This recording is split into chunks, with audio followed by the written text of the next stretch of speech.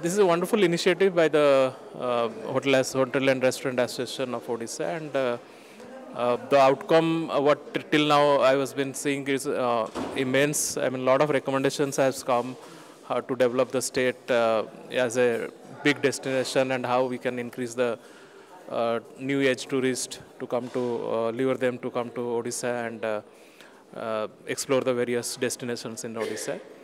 So uh, I think uh, it's it's uh, pretty much in time when uh, when people are uh, moving and looking for new destinations, new experiences.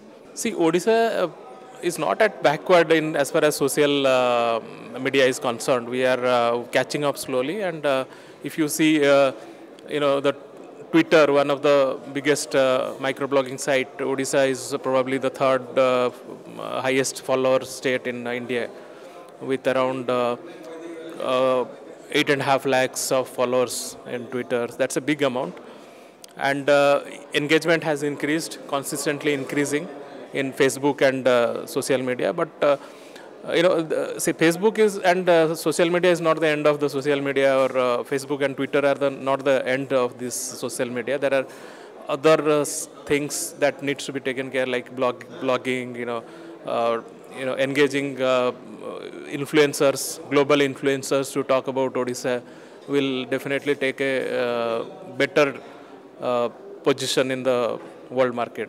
Basically, you know, community-driven tourists. You know, you know, if you're talking about the Indian population, if you're targeting, uh, you know, population from other state to come to Odisha, so we have to, uh, you know, government organizing a lot of road road shows and a lot of activities outside.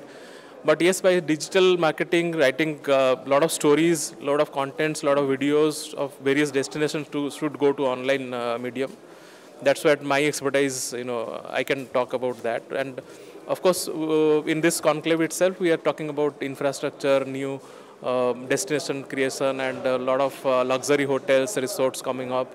So this will also help as a you know a catalyst to this uh, entire mission of getting more and more tourists in the uh, Odisha. Yeah, that was exciting when I saw Odisha Live uh, being a, uh, making this entire conclave on a live uh, medium. I saw in my uh, phone uh, with the CEO of Odisha, you know, Odisha Live, Nilambar sir.